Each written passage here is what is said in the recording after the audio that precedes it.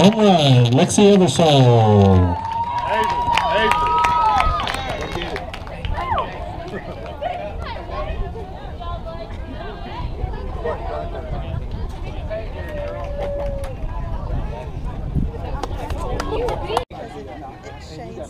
Oh, okay.